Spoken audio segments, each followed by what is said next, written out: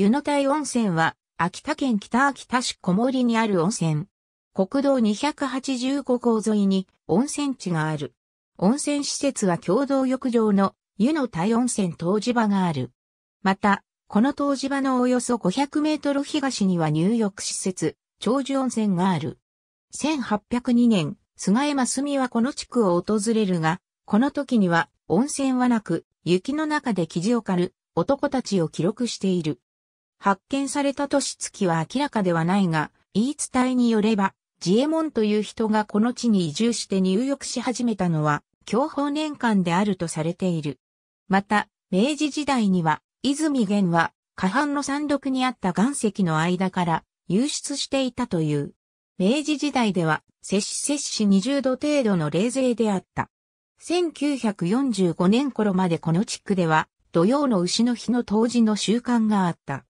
1976年新しい源泉を探すために、ボーリングが行われ、地下480メートルから摂氏38度毎分120リットルの湯の自噴があった。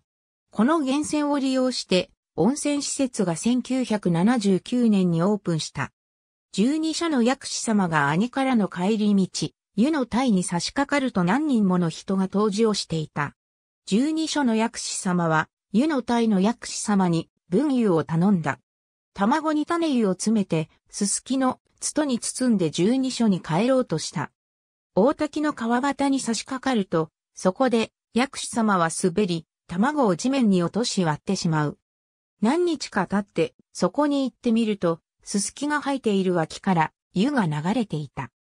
また、十二所の薬師様は、湯の体の湯のそばに、桂の杖をついてきたが、その杖は根付いて、桂の木になった。